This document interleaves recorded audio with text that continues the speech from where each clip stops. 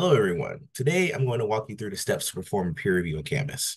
This is an important part of your learning experience, so let's get started. First, open your web browser and log into Canvas.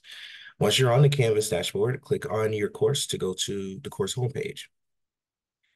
Scroll down the homepage until you find the section labeled Previous Homework. Uh, should be your previous homework. So homework one, homework two, whatever homework you're on. Look for the specific homework assignment that you need to peer review. Um, so underneath the homework assignment, you should see a link uh, labeled peer review. Um, if you click on this link uh, underneath your homework, uh, if you don't see a peer review link, please contact me immediately. Open that open up a homework page and then look to the right hand side and you will see your uh, submitted work followed by the work you are assigned to review.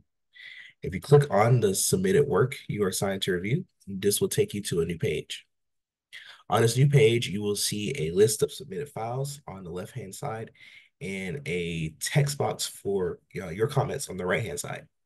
You can download the submitted files to your computer run the Java files to see if they execute correctly.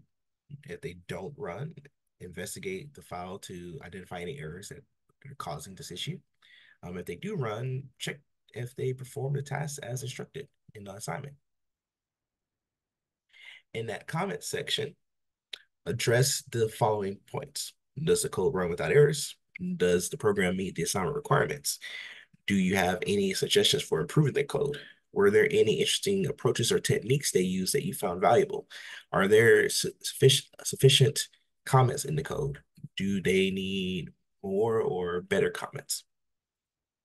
After providing your feedback, make sure that you submit your peer review by clicking on the appropriate button. So just click submit for the comments. Um, some important things to note.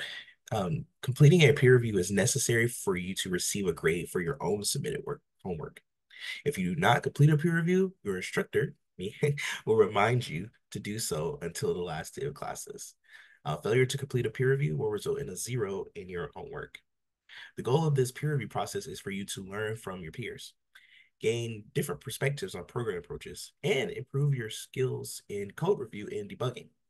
So dive in, explore other Java codes, and enjoy the learning process. Bon appetit.